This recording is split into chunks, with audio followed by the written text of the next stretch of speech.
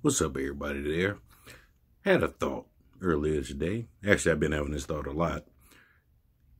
And it has a whole lot to do with the differences in generations and the messed up communication that we have a lot of times.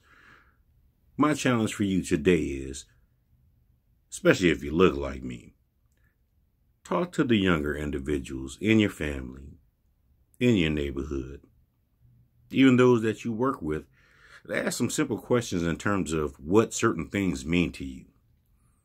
For instance, share your definition of family and see what they say. Share your definition of friend. See what they say. Share your definition of partner. See what they say.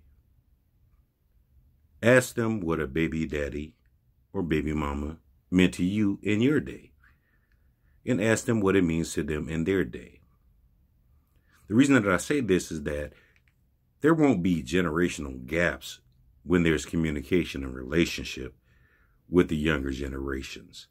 A lot of times people get mad, upset, and denigrate younger people. But did we leave them in the position that they were without the things that they needed to know?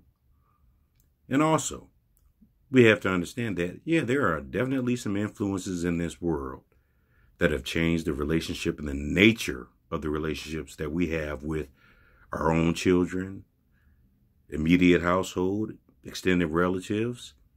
But we have to start communicating in a means, in a way that makes sense to both of us, rather than us saying that, oh, millennials are entitled oh, Gen Xers think they know everything, boomers are old, and this new generation is crazy.